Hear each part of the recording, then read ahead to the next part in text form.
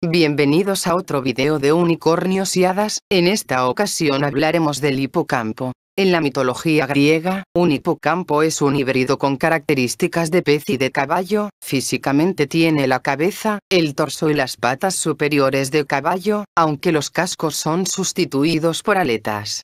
La parte inferior es la de un gran pez, con una cola que puede alcanzar hasta 4 metros de largo. Su cuerpo está cubierto de escamas excepto la parte que es de caballo, que tiene pelo corto. Su color varía entre el verde y el azul. Los hipocampos son pacíficos aunque, si se ven amenazados, luchan apretando su mandíbula y aplastando a su presa. Lo normal es que no sean atacados, ya que son muy rápidos y pocos animales pueden alcanzarlos. Estos seres tienen muchas características similares al caballo, aunque los hipocampos son mucho más inteligentes. Suelen ser domesticados por los humanoides que habitan en el mar como sirenas, elfos de mar y tritones. Son perfectos como monturas marinas. Pueden vivir en aguas dulces y saladas e, incluso, pueden respirar aire, aunque necesitan estar cerca del agua para no resecarse. Son herbívoros y se alimentan de algas y vegetación blanda. Son también los salvavidas del mar, rescatan a cualquier persona que caiga al agua, sobre todo pescadores que, una vez rescatados, suelen estar agradecidos de por vida a los benevolentes hipocampos. El hipocampo aparece incluso en los poemas homéricos como símbolo de Poseidón, cuyo carro surcaba el mar tirado por veloces caballos. Los poetas y artistas posteriores concibieron y representaron los caballos de Poseidón y de otras divinidades marinas como una combinación de caballo y pez. Habría que retrotraerse hasta los tiempos de Homero para poder leer en sus poemas las primeras referencias a este animal marino.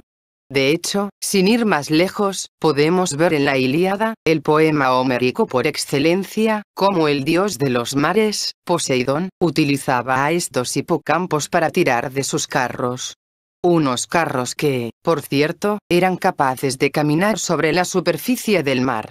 Tal era la fuerza de este ser marino que los carruajes no penetraban en las profundidades del líquido elemento. No obstante, las referencias que se hacen al hipocampo dentro de todo lo relacionado con la historia de los monstruos marinos dentro de la mitología, son mucho más extensas que las que hacía Homero. No en vano, no solamente tenían como misión tirar de los carros de Poseidón.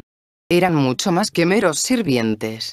En algunas ocasiones podían llegar a actuar como seres con una gran humanidad al punto de rescatar a aquellas personas que se adentraban en los mares y eran tragados por sus aguas. Hay muchos enigmas, cuando se habla del hipocampo, no son pocas las personas que hablan de él como si de un mito se tratase. Sin embargo, como en todo mito, depende de la fuente en la que se consulte, sus cualidades son más o menos magníficas.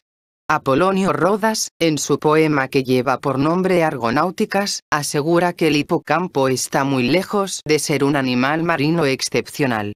Es más, hasta tal punto llega que asegura que no es más que un caballito de mar de los que se pueden encontrar en cualquier punto del planeta. Como se puede apreciar, las discusiones sobre la naturaleza de este ser no son cosa únicamente del siglo XXI. Para concretar, la cola sería de un pez, de ahí que fuera un animal que procedía de los mares, y el cuerpo, el cual, le confería gran fuerza, pertenecería a un caballo.